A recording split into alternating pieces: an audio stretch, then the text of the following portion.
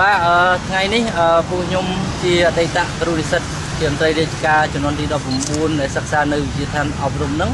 ហើយចង់ធ្វើសន្និសីទកសែតមួយស្ដីពីលទ្ធផលនៃការជួបអឺរកដំណោះស្រាយជាមួយនឹងអាដាមអនុតហងជួននរនរនរដ្ឋមន្ត្រីក្រសួងអប់រំនិងកីឡាអឺតាក់ទងទៅនឹងករណីប្រាក់អាហារូបករណ៍ដែលខ្ញុំសិក្សានៅទីនេះមួយឆ្នាំហើយក្រសួងសេដ្ឋកិច្ចហិរញ្ញវត្ថុក៏បានចេញសេចក្តីសម្រេចមិនផ្ដល់ឲ្យពួកខ្ញុំបាទណា បាទចំនួន461នាក់នៅទីនេះការជួបលោកជួននរិនហ្នឹងគាត់បានសន្យាអីខ្លះចំពោះលោកឥឡូវថ្ងៃនេះក៏កែប្រែមិនអោយអាហារូបករណ៍វិញមានអីខ្លះដែលគេកែប្រែបាទអឺមូលហេតុដែលមានជំនួបថ្ងៃនេះដោយសារក្រមពួកខ្ញុំហ្នឹងបានដាក់លិខិតឲ្យគាត់អន្តរាគមន៍ទៅរដ្ឋមន្ត្រីក្រសួងហិរញ្ញវត្ថុកាលពីថ្ងៃទី2ខែមីនាហើយគាត់បានណាត់ខ្ញុំជួបថ្ងៃនេះហើយគាត់បានផ្ដល់នៅដំណោះស្រាយមួយថាអឺ គាត់នឹងខិតខំព្យាយាមដើម្បីអឺលើកយកមន្ត្រីក្រសួងហិរញ្ញវត្ថុហើយគាត់នឹងដាក់លិខិតស្នើទៅសូមសម្ដេចនាយករដ្ឋមន្ត្រីហ៊ុនសែនឲ្យពិចារណារឿងហ្នឹងហើយគាត់នឹងផ្ដល់លទ្ធផលឬក៏ចម្លើយយ៉ាងណាហ្នឹងថ្ងៃ23ខែមីនាឆ្នាំ2015ខាងមុខនេះបាទមុនអឺសម្ដេចនាយករដ្ឋមន្ត្រីមកចែកសញ្ញាបត្រដល់ពួកខ្ញុំថ្ងៃ25នេះគាត់នឹងផ្ដល់ចម្លើយថ្ងៃ23 ក្នុងការជួបហ្នឹងអស់រយៈពេលប្រហែលមកជួបជាមួយ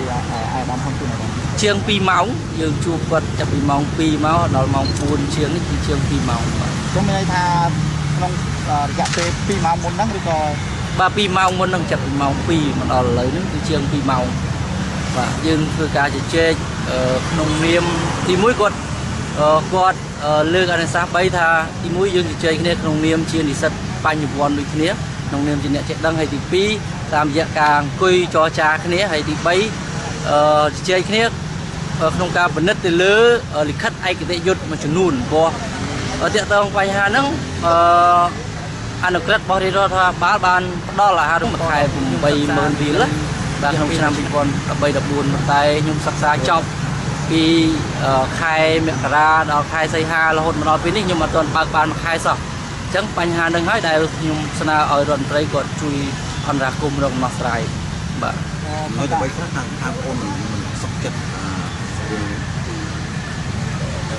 អាអឺទី1អឺមូលហេតុដែលពួកខ្ញុំអត់សុខចិត្តយើងមើលអឺស្មារតីនៃអនុក្រឹត្យគឺផ្ដល់ឲ្យពួកខ្ញុំចាប់ពីថ្ងៃទី1ខែមករា2014មក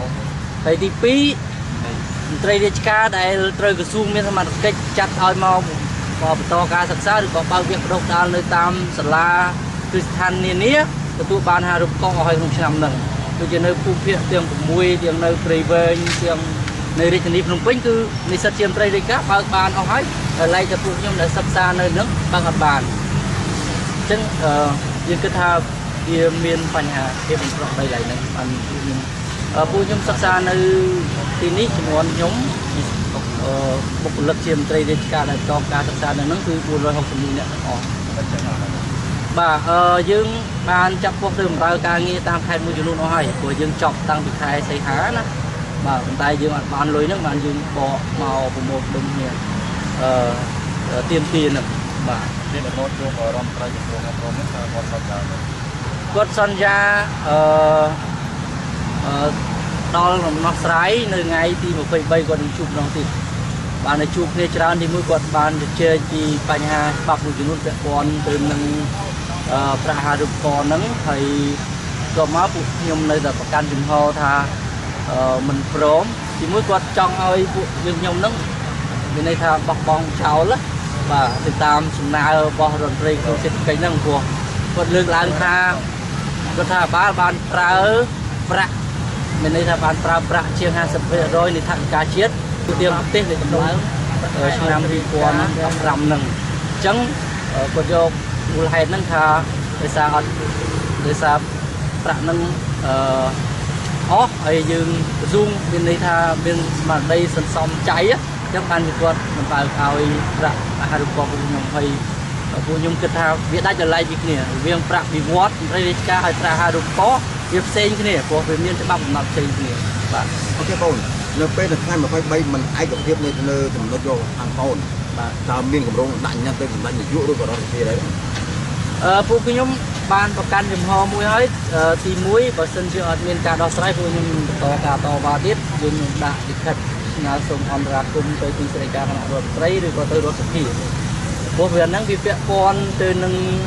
ច្បាប់មួយចំនួនបាទតកតងនឹងអនុក្រឹត្យហ្នឹងស្មារតីនៃអនុក្រឹត្យហ្នឹងបាទហើយយើងហើយយើងជុំគ្នាតវ៉ារបស់គ្នាដល់